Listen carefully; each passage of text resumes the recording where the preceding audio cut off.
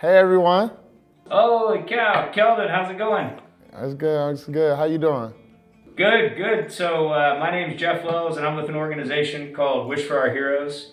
And we heard about the Watson family, who's sitting here, and they experienced a very difficult time last year. Uh, Adrianna lost her husband, and, and, these beautiful kids lost their father. How you guys doing? Uh, thank you guys for for having me here. It means so much. And uh, first off, I wanted to say that um, um, that we understand that uh, from the Wish for Wish for Our Heroes that you and your family has been going through a, a tough time, and I want to send uh, condolences from myself and the Spurs family.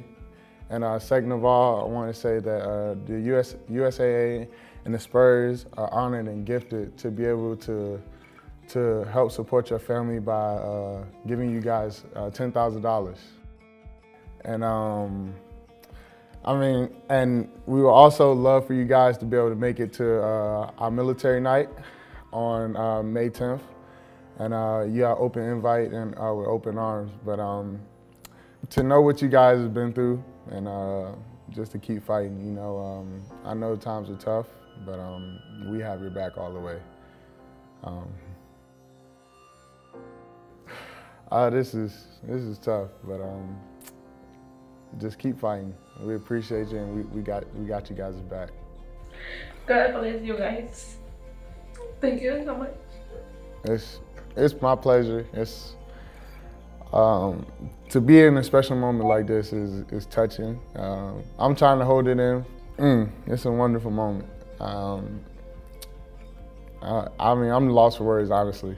Thank you for for giving me this opportunity. I really appreciate it. Thank you. We send you a hug and God bless you. Thank you so much. Yes, ma'am. God bless you, you and your family as well. And uh, we look forward to seeing you guys on, on May 10th. Take care, Keldon. Thank you very much. All right. You guys have a blessed day. You too, Keldon. You take care. Good luck. All right. like just trying to hold it together, you know, trying to smile so you don't cry. I'm glad to be a part of something like this. It feels so natural, it feels so genuine, you know. Well, it was such a gift, you know. Um, before it was six, now it's five. And we miss one part of our team or one member of our team. But we're still together and strong. And um, I know my husband, he's still with us.